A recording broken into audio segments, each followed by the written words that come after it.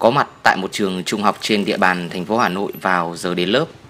Chỉ trong vòng 20 phút đồng hồ, phóng viên truyền hình giao thông đã ghi nhận được có khá nhiều trường hợp học sinh đi xe đạp điện không đội mũ bảo hiểm và các phụ huynh khi đèo con đi học cũng không thực hiện việc chấp hành luật như thế này. Quy định và chế tài xử phạt thì đã có từ lâu.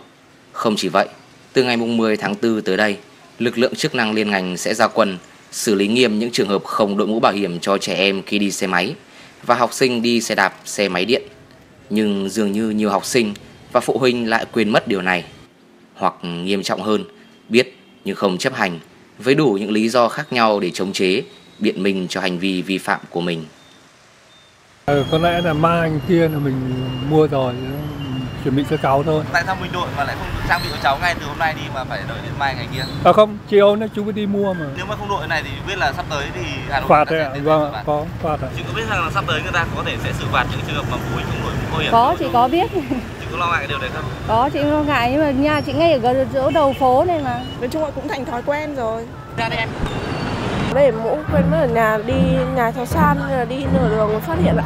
Thế như hôm nay cháu không đội mũ như này thì ở trường người ta phạt gì Hai hai kiểu một tháng ạ hai kiểu một tháng. Rồi. à, chấp nhận điều đấy. Chấp nhận hạ hạnh kiểm Chấp nhận coi thường tính mạng con em mình chỉ vì nhà ngay gần. Liệu đến khi phải đối mặt với hậu quả mà những vụ tai nạn thương tâm gây ra Những học sinh phụ huynh này sẽ nghĩ gì? Mặc dù nhà trường cũng đã có những biện pháp tuyên truyền nhắc nhở kỷ luật đối với những hành vi không đội mũ bảo hiểm của học sinh Đồng thời tác động đến cả phụ huynh. Tuy nhiên dường như nó vẫn chưa đủ sức răn đe Tôi đang ờ, làm công tác tuyên truyền và bắt đầu từ tuần tới thì tất cả những học sinh đến trường mà đi xe đạp điện mà không có mũ bảo hiểm thì nhà trường sẽ yêu cầu là dừng giữ xe lại trong trường và mời phụ huynh đến mang mũ bảo hiểm đến hoặc vận nhận xe về.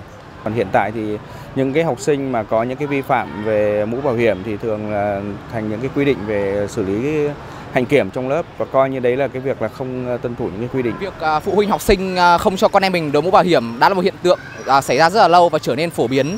Theo Nghị định 171 thì à, trẻ em từ đủ 6 tuổi trở lên à, đều sẽ phải bắt buộc đội mũ bảo hiểm. À, tuy nhiên thì à, phần lớn phụ huynh đều không chấp hành việc này và coi như đó là một thói quen. Điều này không chỉ ảnh hưởng đến tính mạng của trẻ nhỏ mà còn tác động phần nào đến ý thức của trẻ đối với sự giáo dục của người lớn. Giờ tan học, tại một trường tiểu học, chúng tôi cảm thấy ngỡ ngàng khi việc đội mũ bảo hiểm cho trẻ trong độ tuổi từ 6 đến 11 tuổi gần như là không hề có và phụ huynh thì coi như đó là việc chẳng bắt buộc. Thì thấy con còn nhỏ, chưa đến chưa chưa hiểu là cái độ tuổi nào thì nên đội mũ cho con, thì cứ nghĩ thấy còn bé bé thì chưa độ nên, nên là nó không được các cái quyết định đấy đưa ra nó không được khả thi lắm thì là chả thấy nhiều người không đội rồi lại thành thói quen. Trong cái tuần từ mùng 6 đến ngày mùng 10 tháng 4 ấy, thì 5 ngày đầu tức là ngày từ ngày mùng 6 ngày mùng ngày đến ngày mùng 9 ấy thì uh, Ờ, các lực lượng chức năng đặc biệt là nhà trường tức là hiệu trưởng thế rồi giáo viên chủ nhiệm là tổ chức cái việc là nhắc nhở đấy kiểm điểm cái cái cái cái, cái tổ chức thực hiện cái việc nhắc nhở và yêu cầu học sinh đội mũ bảo hiểm khi tham gia giao thông cùng cha mẹ.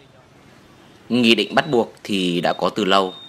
Sắp tới lực lượng chức năng cũng sẽ tiến hành gia quân. Mong rằng ý thức chấp hành luật giao thông của phụ huynh và học sinh sẽ thay đổi. Bởi nếu không, sẽ chẳng ai dám đảm bảo rằng tai nạn giao thông sẽ không tìm đến trẻ em và người đi xe đạp điện.